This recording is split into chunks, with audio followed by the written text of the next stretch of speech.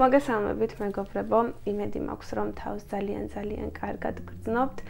დღეს ცოტათი ეგოისტი ვიქნები, ვისაუბრებ მხოლოდ საკუთარ თავზე, ჩემს განვილგზაზე და იმაზე თუ რატომ წერალი აი ასე მოკლედ. გუშინ Instagram-ზე გამოკითხვა დავდე, საკმაოდ გვიანი იყო, თუ არ ვწდები, მაგრამ მაინც ძალიან ბევრმა ადამიანმა დააფიქსირა თავისი აზრი. მოკლედ, ჩემს გამომწერებს ვკითხე, დაიფიქსირებინათ ის თემები, რომელზეც სურდათ, რომ ჩემს YouTube არხზე მესაუბრა და ალბათ ყველაზე მეტი ხმა, მოდი ასე ვიტყვი, დააგროვა თემამ რატომ წერალი.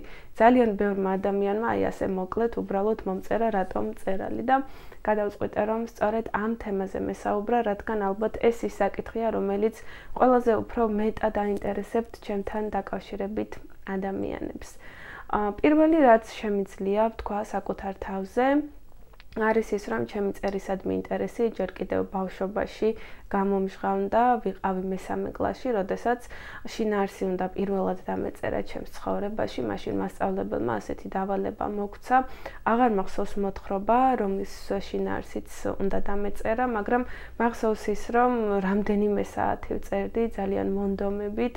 ძალიან მსურდა მასწავლებლისთვის მიმეტანა ის თუ როგორ დავინახე მე ზოგადად ის საკითხი რაც ამ ნაწარმოებში იყო და როგორი ინტერპრეტაცია გავუკეთე მე ჩემი ბავშვური გონებითა და გულით. ну ძალიან დიდი მოლოდინებით მივუტანე ეს ნაწერი ჩემი ქართულის მასწავლებელს, მაგრამ სამწუხაროდ ძალიან ცუდი რეაქცია ჰქონდა, მითხრა რომ საერთოდ არ იყო საჭირო ამდენი მესაუბრა, რომ ერთადერთი თემა, რომელიც მისთვის იქნებოდა მოსაწონი, იქნებოდა ის, რასაც თვითონ დამაწერინებდა. ანუ ჩემს დროს ასე იყო, თუ მაღალი ნიშანი გსურდა და თუ გინდოდა რომ მასწავლებლისთვის შენი ნამუშევარი მოსაწონი ყოფილიყო, უნდა მასთან მომზადებულიყავი და მისივე კარნახით დაწერილი ნაშრომი მიგეტანა, ესეთი უცნაური რაღაცები იყო ხოლმე მაშინ და ძალიან მიხარია რომ ახლა ასე აღარ არის.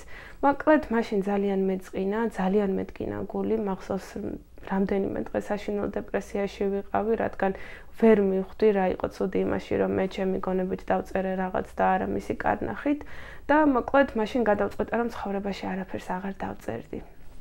აი ესეთი გაბრაზებული გულზე ესეთი გადაწყვეტილება მივიღე. თუმცა გავიდა რამდენიმე წელი, გავხდით 11 წლის და უბრალოდ გადავწყვიტე რომ დამეწერა პატარა მოთხრობა, რადგან ბავშვობაში საკმაოდ გულჩათხრობილი ვიყავი, მაინც და მაინც ურთიერთობა სხვებთან ხუთიანზე არ გამომდიოდა, მოდი ასე ვიტყვი, ხუთი ქულა იყო უმაღლესი იმ დროისათვის და ამიტომ ვაკეთებ ამ შედარებას და უბრალოდ გადავწყვიტე რომ ის ოცნებები, გრძნობები რაც მქონდა, იმ პატარა მოთხრობაში გამეცოცხლებინა, მოკლედ დავწერე დაახლოებით 10 გვერდიანი მოთხრობა პატარა თაგუნიაზე, რომელიც ემზადებოდა შობის აღსანიშნავად და წავუკითხე დედაჩემს. ძალიან მოეწონა. ზოგადად დედა ჩემს ცხოვრებაში არის ის ერთადერთი ადამიანი, ნომერი პირველი ადამიანი, რომელსაც ყოველთვის შეეროდა ჩემი და ყოველთვის ძალიან დიდი სიხარულით კითხულობდა ჩემს ნაწერს. მაშინაც კი თუ კი რაიმე უბრალოდ უაზრობას დავწერდი. თუმცა მას რომ მკითხოთ უაზრობა არასოდეს არაფერი დამიწერია. მაშინ დედამ მითხრა რომ არაჩვეულებრივად გამომდიოდა წერა და რაიმე კიდევ დამეწერა. შემდეგ გადავწყვიტე რომ ნუ რადგან დედა ალბათ გული რომ არ ეთკინა, იმიტომ შემაქოთქო და წავუკითხე მეზობლებს.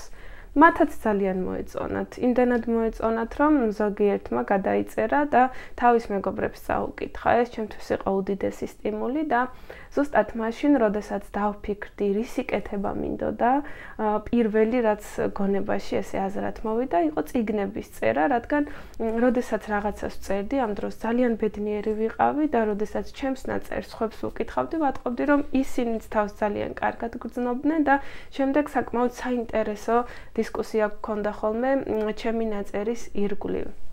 შემდეგ დაიწყო უკვე სკოლის ისეთი სერიოზული პერიოდი, როდესაც აღარც წერისთვის გცალია და აღარც არაფრისთვის, მეც ასე ვიყავი. შემდეგ გაჩნდა ახალი ჰობი ჩემს ცხოვრებაში, ეს იყო სამოსის მოდელირება და დიზაინი და გადავწყვიტე, რომ მთელი ჩემი დრო და რესურსები სწორედ აი ამ ახალი ჰობისთვის მიმეწვნა.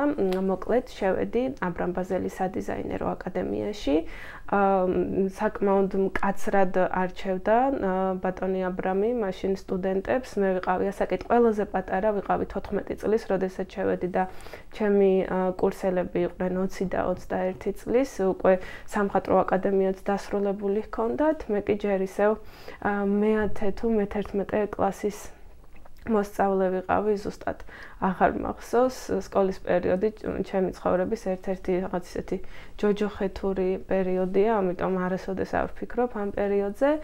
და ნუ მოკლედ წერისთვის აღარ მეცალა ხოლმე რაღაც უბრალოდ ჩანახატებს წერდი, როდესაც თავს ცუდად ვგრძნობდი და დაგროვდა ეს ჩანახატები ძალიან ძალიან ბევრი. შემდეგ მოხდა ისე რომ წავუკითხე ერთ-ერთ ჟურნალისტს ეს ჩემი ჩანახატები ასევე იყო აქ რამდენიმე ლექსი მასთან ჩემმა მეგობარმა მიმიყვანა ერთ-ერთ გაზეთში მუშაობდა ეს ადამიანი და მაშინ მითხრა რომ ძალიან უცხო სტილის ნაწერი მქონდა და თუ კი თანახმა ვიქნებოდი სიამოვნებით დაბეჭდავდა გაზეთში აი ამ ჩემს დაწერილ ჩანახატებსა და ლექსებს. ნუ რამდენიმეს ყოველას არა რა თქმა უნდა.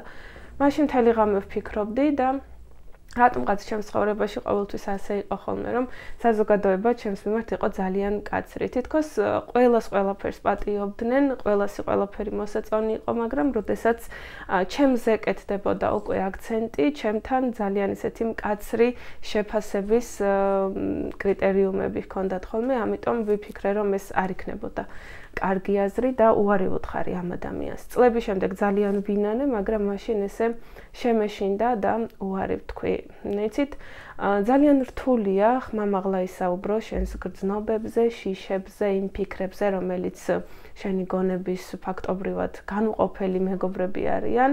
იმ ქვეყანაში, სადაც ადამიანთა უმეტესობას ერთმანეთის მიმართ რაღაც სასწაული აგრესია და სიძულვილი აქვს და უცებ შეიძლება გამოჩნდეს უამრავი ადამიანი, რომელსაც საერთოდ არ შეხვედრი ხარ ცხოვრების გზაზე და ხმაც კი არ გაგიცია მათთვის, მაგრამ ძალიან ბევრი ისტორიას მოყვებიან შენზე და ძალიან გაძაგებენ, ასე რომ ვთქვა, ამის ძალიან შემეშინდა, მაშინ საკმაოდ პატარაც ვიყავი, ასაკითაც და გამოცდილებითაც, ამიტომ ისევ ჩემთვის დავიტოვე ეს ჩემი ნაწერები. შემდეგ ყველაფერი გავანადგურე, დავწვი, დავხიე, რადგან თითქოს გავბრასდი საკუთარ თავზე, რა თმინდა ამდენს რა ვწერ, თუ კი ვერავის ვერ წავაკითხავ და მხოლოდ სახლში უნდა მეწყოს უკვე ადგილიც აღარ არის თქო და რამდენიმე დღიური, რომელიც ავსე მქონდა რაღაც პატარა ნოველებით, ამბებით და ლექსებით და ასე შემდეგ, ყველაფერი დავწვი და გავანადგურე. ამას დღემდე ვნანობ, მაგრამ ნუ რას ვიზავ, ახლა წარსულს ვეღარ შევცვლი, ამიტომ დრო ახლები დავწერო. შემდეგ გავიდა წლები საკმაოდ კარგი წარმატება მქონდა ჩემს კარიერაში, ანუ სამოსის მოდელირება და დიზაინი. გავხსენი ჩემი სალონი, უკვე მსურდა რომ ჩემს სამოსის ხაზზე დამეწყო მუშაობა, მაგრამ მომბეზრდა ეს საქმე. ძალიან დავიღალე ფიზიკურად, ემოციურად, ყველაფერმა ძალიან გადამღალა და მივხვდი რომ თუ კი ამ საქმის გაკეთებას გავაგრძელებდი, უბრალოდ ერთადერთი ემოცია, რაც მექნებოდა, იქნებოდა სიძულვილი და ზიზღი, ამიტომ დადგა ახალი ეტაპი ჩემს ცხოვრებაში და მაშინ ყველაზე მეტად ვიგრძენის, რომ სურდა უბრალოდ სახში მჯდარიყავი და მეწერა. მეწერა ძალიან ძალიან ბევრი სხვადასხვა ადამიანებზე, ისტორიებზე და ამ სხვადასხვა პერსონაჟებისთვის ჩემი განცდები და ფიქრები მეჩუქებინა და ესე გამეცოცხლებინა ეს ყველაფერი.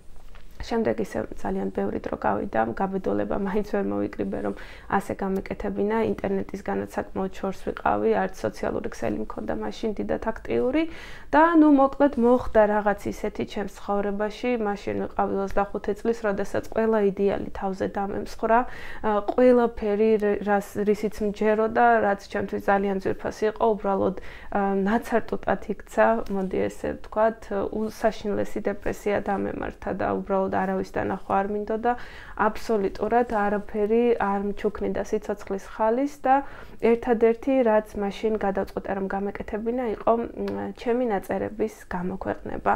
აი ესე დავჯექი საკუთარ თავთან და ვთქვი ვინმეს თუ მოეწონება მოეწონება რომც არ მოეწონოთ და აი ნუ მოეწონოთ ამას არავისთვის არ ვაკეთებ უბრალოდ ვაკეთებ საკუთარი თავისთვის. მაშინ მეგობარს ვთხოვე დახმარება მინდოდა ერთია რაიმე ისეთი საიტი, სადაც შევძლებდი რომ ჩემი ნაწერები გამომექვეყნებინა. მანამდე უკვე Facebook-ზე ჩემი ლაიქ გვერდი შევქმენი, თუმცა არაფერი არ მქონდა გამოქვეყნებული გარდა ერთი ჩანახატისა, რომელსაც ნუ სასწაულად არ ვიცი, გვერდს ყავდა 200 გამომწერი და ამ ჩანახატს ჰქონდა 400 გაზიარება. ეს იყო ძალიან დიდი ხნის წინ დაახლოებით 7 თუ 8 წლის წინ. არა 7-8 წლის წინ, არა 6 წლის წინ, იმიტომ რომ მაშინ ვიყავი 24-25 წლის, ახლა 30-ის ვარ და სავარაუდოდ ესე. ხო და მოკლედ ჩემო მეგობარმა მირჩია ერთი საკმაოდ აქტიური საიტი, რომელზეც სულ პირველად დავრეგისტრირდი და გამოვაქვეყნე ჩემი ნაწერი. ახლაც მახსოვს ის ემოციები, როდესაც თავისი გარეკანით ჩემი შემოქმედება განთავსდა და უბრალოდ დაბლა ეწერებოდა მკითხველების რაოდენობა. როდესაც ამ რაოდენობამ 1000 გადააჭარბა, უკვე გული ამიჩქარდა, რადგან მივხვდი, რომ ეხლა დაიწერებოდა უამრავი კომენტარი, სადაც ზოგიერთი ადამიანი მიწასთან გამოსწორებდა, ზოგი კიდევ ალბათ დაწერდა, რომ მისი ამოვნა წაკითხვით. მაგრამ მოხდა ესეთი საოცარი რაღაც, რომ ყველა ეს კომენტარი იყო ძალიან დადებითი და მაშინ პირველად მივხვდი, რომ თურმე ჩემი ნაწერი შემიძლია ადამიანებს ძალიან ძალიან კარგი ემოციები ვაჩუქო, ის დადებითი ემოციები ვაჩუქო, რომელიც მათ დაეხმარებათ, რომ აი ეს რთული დღეები და საათები, რაც მათ ცხოვრებაში შეიძლება რომ იყოს, გადალახონ და ადვილად გადაიტანონ, თან რაღაც იმედიც გაუჩნდეთ გულში. ამიტომ გავაგრძელე ესე ჩემი პატარა ნოველების და ჩანახატების ამ საიტზე გამოქვეყნება, შემდეგ დაიდო ერთი კონკურსი და მოკლედ თუ ამ კონკურსში გამარჯვებდი, ერთი ეტაპით უფრო მაღლა ადიოდი და ხდებოდი ახალბედა მწერალი, ესეთი სახელი ერქვა და მაშინ პირველად დავწერე ჩანახატი, ეს იყო ზამთრის სურნელი, უბრალოდ ზამთრის არომატი და დავწერე მოხუც ცოლქმარზე, რომელიც იხსენებენ თავიანთ ახალგაზრდობას და ერთმანეთის გაცნობის დღეს. ახლაც მახსოვს იყო დაახლოებით 300-მდე კომენტარი და ყველა ადამიანი წერდა რომ რაღაც ჯადოსნურ სამყაროში იმოგზაურეს ამან უდიდესი სტიმული მომცა და მოკლედ ჩემმა ჩანახატმა გამარჯვა. შემდეგ იყო უკვე მოთხრობის ჯერი, უნდა დაგვეწერა მოთხრობა საშობაო ზღაპარი და თუ კი ეს მოთხრობა გამარჯვებდა, უკვე გერქმეოდა ახალბედა მწერალი ამ საიტზე, რა თქმა უნდა, შენი რეიტინგი იქნებოდა უფრო მაღალი და აი რომ მიტყვიან სიტყვა მეთქმისო. აი ასეთი ტიპი გახდებოდი. ვიფიქრე რა დამეწერა, ძალიან მინდოდა ჩემი მკითხველებისთვის, უკვე ჩემი მკითხველებისთვის, რაიმე ძალიან უცხო და ესეთი განსხვავებული ნაწარმოები შემეთავაზებინა და დავწერე ნახატის ტყვე. ჩემი მოთხრობა იყო რაინდზე, რომელიც ჯადოქარმა დაწყევლა და გამოამწყდია ნახატში და თუ კი ამ ნახატში მას ოდესმე ვიღაც შენიშნავდა და ვიღაც მის მზერას დაინახავდა ამ ნახატიდან, მხოლოდ მაშინ აიხსნებოდა ეს წყევლა და განთავისუფლდებოდა ეს ნახატი შემდეგ უამრავი საუკუნის შემდეგ მოხდა გერმანიის ეროვნულ მუზეუმში. იქ კი ქართველი სტუდენტები ჩავიდნენ ექსკურსიაზე, ასე ვიტყვი და შობის ღამეს ზუსტად მაშინ ერთ-ერთმა სტუდენტმა გოგონამ შენიშნა და წევლა აიხსნა ამ რაინს. ეს ახლა ძალიან მოკლედ მოვყევი, თუმცა მაშინ ნაწარმოებში თუ კი რაიმე ესეთი ამაღლებული შეიძლებოდა რომ დამეწერა და ლამაზად გადმომეცა ეს ამბავი, ყველაფერი გავაკეთე და ერთი კვირის მერე გამოცხადდა ჩემი მოთხრობა გამარჯვებულ ნაწარმოებად. და უკვე სულ სხვა თავდაჯერებულობა მომეცა და კიდევ უფრო მეტად მივხვდი რომ ეს ის საქმეა რომელიც მინდა რომ სიცოცხლის ბოლომდე ვაკეთო თუმცა წერლობა ჩემთვის არასოდეს ყოფილა პროფესია და ალბათ არც იქნება. ეს არის უბრალოდ ის რაც მე მიყვარს რაც ჩემი გულიდან მოდის და რაც მე მსურს რომ ადამიანებს გავუზიარო ვიღაცის თუნდაც ერთი დღე შევცვალო იმ ემოციებით რასაც ის ჩემი ნაწარმოების წაკითხვისას განიცდის ზუსტად მაშინ, როდესაც ამ კონკურსში გავიმარჯვე და დამერქვა ახალბედა მწერალი, აა გამოცხად ვიფიქრე, რომ ჯერ მოდი ამაზე ვიტყვი, აა ზოგადად ვიზუალიზაცია ძალიან დიდ დროს უთმობ ხოლმე, ეს არის ჩემი ცხოვრების ერთ-ერთი უმთავრესი რამ, რაც ძალიან მეხმარება და ძალიან მიყვარს და მაშინ აი ასე უბრალოდ საკუთარ თავთან მარტო რჩებოდი, თვალებს დავფუჭავდი და წარმოვიდგენდი, რომ საქართველოსში ჩატარდა ძალიან დიდი კონკურსი, სადაც მე გავხდი გამარჯვებული. და ერთიც ვნახოთ, გადის ორი კვირა და ინტერნეტში იდება ესეთი სიახლე, რომ ტარდება პირველი ლიტერატურული დიდი კონკურსი საქართველოში, გახდი ბესტსელერის ავტორი, სადაც ყველა იმ ადამიანს, რომელსაც ჯერ წიგნი არ გამოუცია, შეუძლია რომ მონაწილეობა მიიღოს. აი მაშინ უკვე მივხვდი რომ ეს იყო ის შანსი რომელსაც თუ არ გამოვიყენებდი და თუ ჩემი კომპლექსების და შიშების გამო ამ ყველაფერზე უარს ვიტყოდი ალბათ საკუთარ თავს არასოდეს არ ვაპატიებდი ამ ნაბიჯს და დავიწყე ნაწარმოების მზადება. რომანი რომელსაც ვაპირებდი რომ ამ ნაწარ ამ კონკურსში გამეგზავნა იყო არასხვაუდაბნო საიდუმლო არამედ ყვავილი კლდეზე. ეს იყო ის ნაწარმოები რომელიც იმ საიტზე გამოვაქვეყნე და ძალიან ბევრმა ადამიანმა ძალიან კარგად შეაფასა ნაწარმოები მოგვითხრობდა ბიბლიოთეკარი გოგოს და პოლიტიკოსის ურთიერთობის შესახებ, საკმაოდ ცეთი რომანტიკული ნაწარმოები იყო, თუმცა ვერ ვიტყვი რომ რაიმეთი გამორჩეული და უფრო სერიოზული.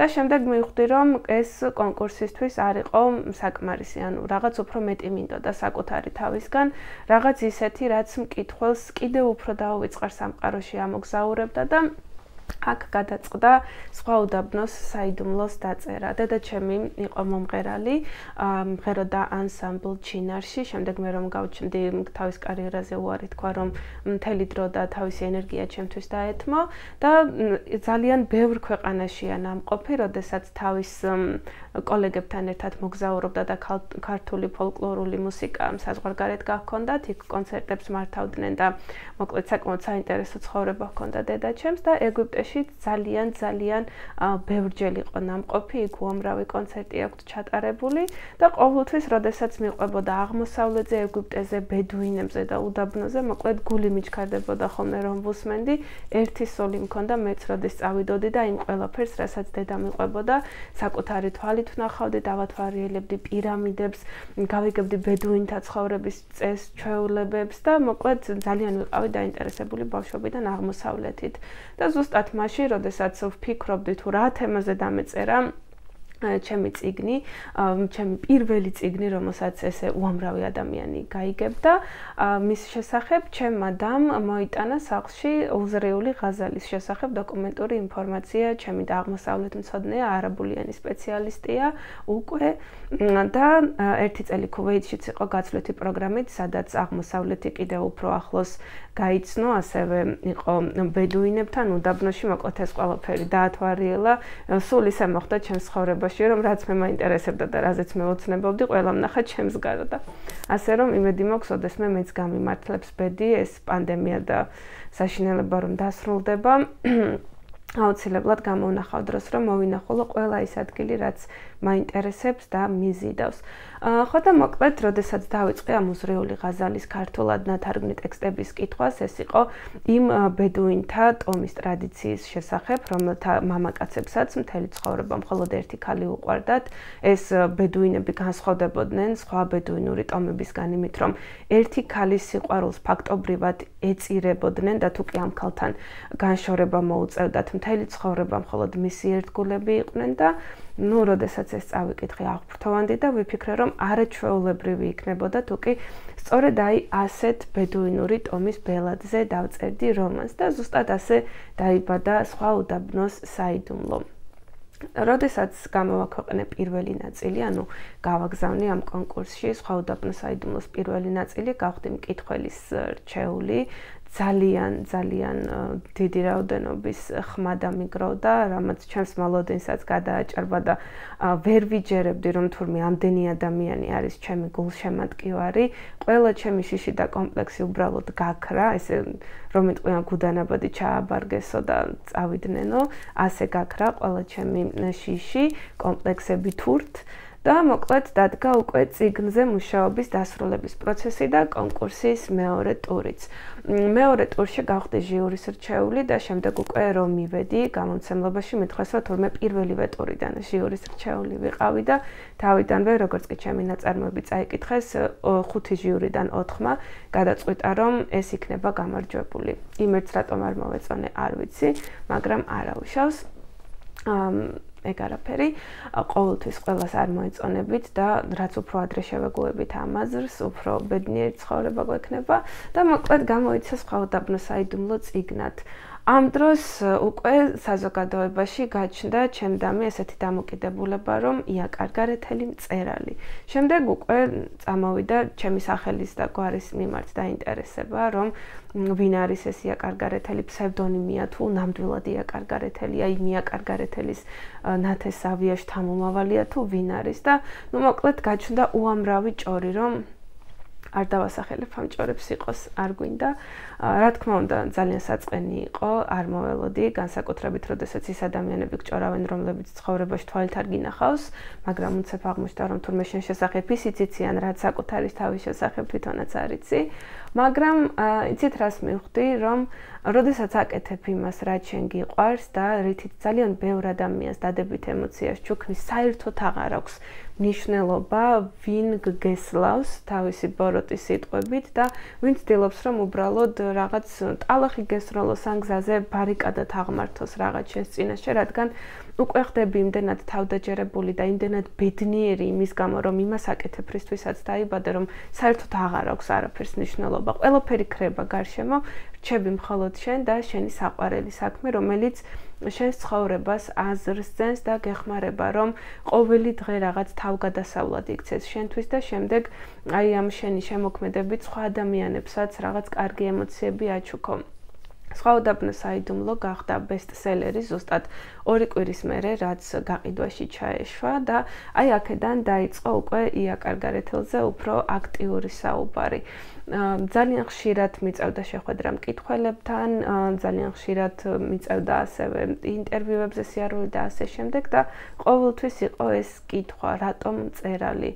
და შემდეგ, როდესაც ვფიქრობდი, როდესაც ვუყურებდი ჩემს განვილ გზას, აი იმ სირთულეებს, რაც დავძლია, რაზეც რა თქმა უნდა ვიდეოში ყველაფერზე ვერ ისაუბრებ და არც ღირს რომ ისაუბრო, რადგან არის ძალიან ბევრი რამ, რაც მხოლოდ შენ გეხება და სხვას ეს არც აინტერესებს და არც არის საჭირო რომ მოყვე. და შემდეგ უკვე მივხვდი რომ აი ეს ლაიქ გვერდი, რომელიც ესე გაყინული მქონდა Facebook-ზე, უნდა გამეცოცხლებინა იყო ძალიან ბევრი რაღაც ისეთი გრძნობა და ფიქრი, რაზეც ციგნში არ დამიწერია, მაგრამ ძალიან მინდოდა რომ დამეწერა მოკლე დიალოგების სახით, რაღაც ლამაზი ჩანახატის და ფრაზების სახით და გადავწყვიტე რომ ჩემს ლაიქ გვერდზეც სწორედ ასეთი ტიპის ნაწერები გამოქვეყნდებოდა. ეხლაც მახსოვს ის ერთი კვირა, როგორც კი ლაიქ გვერდზე დავიწყე ჩემი ამ ფრაზების და ჩანახატების გამოქვეყნება, ზუსტად ერთი კვირის განმავლობაში უკვე 10000 გამომწერი მყავდა და შემდეგ 5 თვეც არისო აქედან გასული, რომ უკვე 50000 გამომწერი გახდა და ესე და ესე გროვდებოდა იმ ადამიანების რაოდენობა, რომელთაც ჩემი შემოქმედება შეიყვარეს. მე ამ ადამიანებს ჩემი სულის მეგობრებს ვეძახი, რადგან შეუძლებელია მოგწონდეს ეს იმის იმ ის ნაწერი და ის ამბავი, რომელიც წერილობითი სახით გადმოსცეს, რომელიც შენ სულთან ახლოს არ არის, ამიტომ, როდესაც ავტორის რაღაც ნაწერი მოგწონს და რაღაც ისტორია შენს გულთან ახლოს არის, ისე იგი შენსა და ამ ავტორს შორის რაღაც სულიერი კავშირია. მე ასე ვფიქრობ და დღემდე იმ ციგნებს, რომლებიც მე ძალიან მიყვარს, ჩემ სულიერ მეგობრებს ვეძახი და ამ ციგნებზე შემდეგ ვიდეოში აუცილებლად მოგიყვებით. და შემდეგ, როდესაც ვუყურებდი მოკლედ აი ამ გზას და ვფიქრობდი, რატომ წერალი გუშინ კიდევ ერთხელ დავფიქრდი ამ შეკითხვაზე, როდესაც ინსტაგრამზე ძალიან ბევრმა ადამიანმა ესე მოკლედ რატომ წერალი მომწერა.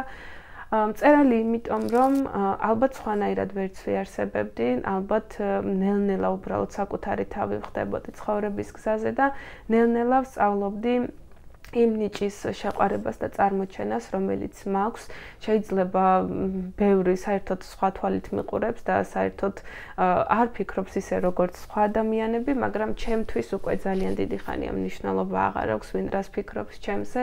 მე უკვე მაქვს საკუთარი თავის შესახებ აზრი და ვფიქრობ, რომ ეს არის ყველაზე მთავარი, რაც კი შეიძლება რომ ცხოვრებაში ადამიანს გააჩნდეს.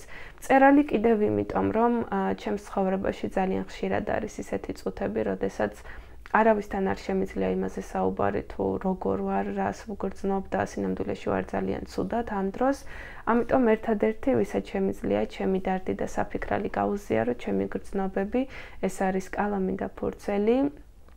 და შემდეგ ეს ყველაფერი უბრალოდ გამოვაქვეყნო და თუ კი ვინმე არსებობს დედამიწაზე ისეთი, ვინც იმ მომენტში იგივეს გრძნობს ან ვისთანაც ეს ფიქრები და განცდები ახლოს არის ის ადამიანი ვანუგეშო. აი ამიტომ წერალი. წერლობა არ არის პროფესია. ვერ იტყვი რომ მე მინდა გამოვიდე წერალი. წერლობას ვერსად ვერ გასწავლიან, იმიტომ რომ ეს შეუძლებელია. ეს არის თანდაყოლილი ნიჭი, ეს არის შემოქმედების პროცესი, როდესაც საკუთარ თავს წარმოაჩენ, შენს სულიერ სამყაროს აშიშვლებ და გადმოგაქვს ფურცელზე ის მხოლოდ შენი ფიქრები, გრძნობები, რაც ძალიან ინტიმურია შენთვის, მაგრამ აძლევს საშუალებას სხვა ადამიანებს, რომ ეს ყველაფერი წაიკითხონ და გაგიცნონ ისეთი, როგორიც სინამდვილეში ხარ და ამ დროს ხარ ძალიან დაუცველი, იმიტომ რომ ყველა ეს რაღაც თავდაცვის თავდაცვისგან შექმნილი ღობერ, რითიც სხვა ადამიანებს შენთან მოსვლისას აკავებ, უკვე მოხსნილია და ყოველას შეუძლია რომ შენს გულში ჩაიხედოს და მიხვდეს სინამდვილეში როგორი ხარ, თურმე როგორ დღეებს გადიხარ და რა ხდება ზოგადად შენს ცხოვრებაში. ინსპირაცია ჩემთვის ყველაზე ხშირად არის მუსიკა. მუსიკა არის ის, რის გარეშეც ცხოვრება არ შემიძლია, ალბათ იმიტომ რომ ბავშვობაშივე შემაყვარა დედა მუსიკა და გამოცნო უამრავი ჟანრი და შემდეგ უკვე მომცა საშუალება რომ მე ამერჩია რომელი ამ ჟანრიდან რომელი იყო ჩემს გულთან ახლოს და ასე დამეგობრდით მე და მუსიკა რაც შეეხება ჩემი და ციგნების დამეგობრებას. აქაც დედა ჩემმა ძალიან დიდი როლი ითამაშა. დედა ძალიან აქტიური მკითხველია. ბებია ჩემი იყო ბიბლიოთეკარი. ალბათ ამანაც ძალიან დიდი როლი ითამაშა რადგან სოფლის სახლში გქონდა უდიდესი ბიბლიოთეკა ბიბლიოთეკა, სადაც იყო ძალიან იშვიათი და ესე ძალიან ცოტა რაოდენობით დაბეჭდილი წიგნები, რომლებიც ბებია ჩემს ზოგი ავტორმა ჩუქა თვითონ და ზოგი აუქციონზე შეიძინა, ასე რომ ყოველთვის მქონდა ის ფუფუნება, რომ საინტერესო წიგნების გარემოცვაში ყოფილიყავი და არასოდეს დედა ჩემი არ მოძალებდა რომელიმე სხვა ნაწარმოების წაკითხვას, თუ კი რაღაც მომწონდა, ყოველთვის მაძლევდა საშუალებას, რომ თუნდაც ეს იმასაკისთვის გათვლილი ლიტერატურა არ ყოფილიყო, უბრალოდ ამეღო და წამეკითხა და რა თქმა უნდა მისი მაგალითით, როდესაც ხედავდი ის როგორ კითხულობდა ციგნებს, უფრო მეტი ინტერესი მქონდა, რომ მეც გამეკეთებინა ეს, რადგან თუ კი მისთვის ეს ესეთი საინტერესო იყო, იქნებ საინტერესო ყოფილიყო ჩემთვისაც. 11 წლის ვიყავი, როდესაც დამოუკიდებლად ავიღე ნაწარმოები და წავიკითხე. მანამდე დედა ბავშვობიდანვე მიკითხავდა სხვადასხვა ზღაპრებს და მაძლევდა საშუალებას, რომ ძალიან დიდარი წარმოსახვითი სამყარო მქონოდა და ასე შემიყვარდა ციგნების კითხვა, შემდეგ კი უკვე თვითონ დავიწყე ფიქრი იმაზე, რომ დამეწერა ციგნები და ჩემი გრძნობები და ფიქრები პერსონაჟების სახით გამეცოცხლებინა. ყველა პერსონაჟი, რომელზეც წერ, ჯერ ჩემს გონებაში ცოცხლდება, ცოცხლდება მათი ხმა, მათი ვიზუალი და შემდეგ უკვე ისე ვიწყებ მათზე წერას. ძალიან ხშირად მუზა, როგორც იტყვიან, მოდის მგზავრობის დროს, უზამოდ მიყვარს მგზავრობა, განსაკუთრებით თუ კი ყურსასმენებით ან მაქვს და შემიძლია რომ მუსიკას უსმინო, ამ დროს ფაქტობრივად მთელი სცენარი იხატება ჩემს გონებაში, როგორ შეიძლება წარიმართოს პერსონაჟების ბედიღბალი, მათი ცხოვრება, თუმცა როდესაც ნაწარმოებზე მუშაობას ვიწყებ, ძალიან ხშირად ისე ხდება, რომ პერსონაჟები შემდეგ თვითონ ირჩევენ რანაბიჯების გადადგმას და აქ ამ დროს მე უბრალოდ შემიძლია რომ დავყებულდე მათ არჩევანს და უბრალოდ დავწერო ის რაც მათ სურთ რომ მათზე მკითხველს ვუთხრა. აი ამიტომ მწერალი, რადგან სხვანაირად ჩემი თავი ვერ წარმომიდგენია, ეს არის ის საქმე, რომელიც ჩემს ცხოვრებას ალამაზებს. ეს არის ის ჰობი, რომელიც მეხმარება რომ თავი ნიშნულოვან და ბედნიერ ადამიანად ვიგრძნო. ძალიან ხშირად წერ ბუნებაში, ყოველთვის, როდესაც მაქვს თავისუფალი დრო, დილით ადრე ვდგები, მიმაქვს ჩემი უბის ციგნაკი და კალამი, ჯდები, სადმე მყუდრო და ლამაზ ამას ადგილას ეს განსაკუთრებით სასიამოვნოა თუ კი სოფელში ვარ ან ზღვაზე ვარ დასასვენებლად წასული უსმენ წყლის ხმას და წერ ეს არის ჩემთვის ერთგვარი რაღაც თითქოს ფსიქოთერაპიაც და ერთ-ერთი ყველაზე ლამაზი მომენტები ჩემი ცხოვრების. ასე იქნება ჩემი ნაწარმოებები, ძირითადად წერ ღამით, ზოგადად ბავშვობიდან ღამეზე ვარ შეყარებული, უზამოდ მიყვარს მთვარის სინათლე, როდესაც ოთახში იჭრება და თითქოს რაღაც სხვანაირი იდილია გექმნება საკუთარ თავთან, მარტო რჩები შენს ფიქრებთან და შეგიძლია რომ აი ეს ყველაფერი, რასაც დღის განმავლობაში არ იმჩნევდი და რაზეც არ ფიქრობდი დღისით, ღამით ეს ყველაფერი რაღაც თითქოს კიდევ ერთი ადამიანია შენს გვერდით, შენივე თავის სახით, ოღონდ ბევრად უფრო საინტერესო, ვიდრე ის, ვისაც დღის განმავლობაში თუნდაც არკეში ხედავ ან საკუთარ თავში გრძნობ, მოკლედ, არ ვიცი რამდენად კარგად აღვწერე, მაგრამ შემოქმედებითი პროცესი ჩემთვის ყოველთვის ღამესთან და მთვარესთან ასოცირდება. და სხვა უდაბნო საიდუმლოზეც დაახლოებით ერთი თვე ღამის ვათენებდი, რადგან 6 საათზე საღამოთი ვიწყებდი წერას და დილის 5 საათამდე, დილის 6 საათამდე უბრალოდ ვიჯექი და წერდი. ალბათ წარმოუდგენელია მესმის, ჩემთვისაც რომ ვინმე ეთქვა რომ ამ ერთი თვის განმავლობაში ესე ვზივარ და დილამდე ვწერ ვარ და ვიჯერებდი, მაგრამ ფაქტი ასეთია, ყველა ჩემი ნაწარმოები, თუნდაც რაც სხვა უდაბნოს შემდეგ დავწერე, მაგრამ ჯერ წიგნად არ გამოცემულა ღამე მაქვს დაწერილი, რადგან ღამით საკუთარ თავთან მარტო ყოფნა მეხმარება, რომ უფრო კარგად ვიმოგზაურო ჩემს სულიერ სამყაროში და უფრო ნამდვილი და ემოციური იყოს ის, რასაც ფურცელზე დავწერ. ძალიან მიყვარს ფურცელზე კალმის მეშვეობით დაწერა და შემდეგ ეს ნაწერი გადამოქვს კომპიუტერში, თუმცა ზოგჯერ არის ისე, რომ დრო საერთოდ არ მოხს და თავიდანვე კომპიუტერთან ჩდები და იქ წერ. რატომღაც არის ისეთი მოსაზრება, რომ წერალი მარტო ის არის, ვინც ფურცელზე წერს, სისულელეა, ჩვეულებრივი. წერალი არის ის, ვინც წერს და არა ის ვინც ვისაც რაიმე ესეთი თავისი რიტუალი აქვს წერის ასე რომ ამ მსგავსი რაღაცებით თავს ნამდვილად არ ვიკომპლექსებ. არ ვიცი როგორი იქნება ზოგადად ჩემი ცხოვრება, მთელი ცხოვრება, რამდენ წიგნს დავწერ და ასე შემდეგ. უბრალოდ ერთ-ერთი რაც დღეს ვიცი არის ის, რომ ეს არის ის ჰობი, ეს არის ჩემი ცხოვრების ის ნაწილი, წერლობა და ზოგადად წერა, ეს შემოქმედებითი პროცესი, რაც მე მეხმარება რომ ჩემი ცხოვრება უფრო აზრიანი გავხადო, ამიტომ ჯერჯერობით ნამდვილად არ ვფიქრობ, რომ გამოჩნდება რაიმე სხვა გატაცება, რომელიც უბრალოდ ამ საქმიანობაზე, აი ამ ჩემს ჰობიზე უარს მათქმევინებს და ამას გადაწონის, ასე რომ სანამ ვარსებობ, შევეცდები, რომ ძალიან ბევრი ისეთი ნაწარმოები დავწერო, რაც მკითხველს თავს კარგად აგრძნობინებს. არასოდეს არ მქონია სურვილი იმის, რომ რაიმე ისეთი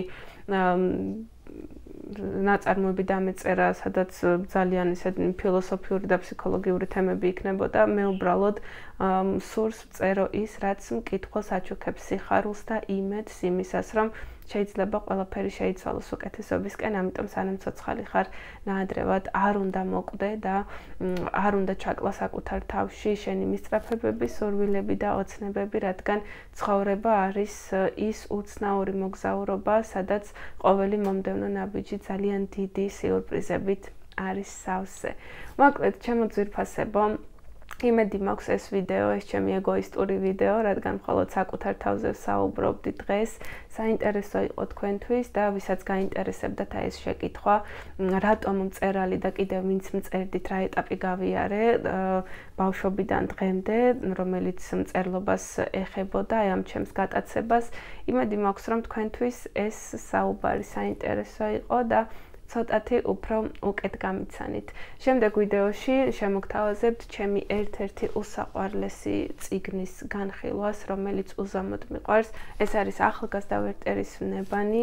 ეს რომანი საკმაოდ პატარა რომანი არის, სულ რაღაც 125 გვერდიანი, თუმცა ვფიქრობ, რომ ძალიან ბევრ 1000 გვერდიან ციგნს ჯობია, ასე რომ იმედი მაქვს შემდეგი ვიდეო საინტერესო იქნება თქვენთვის. ძალიან მიყვარხართ და ნახვამდის.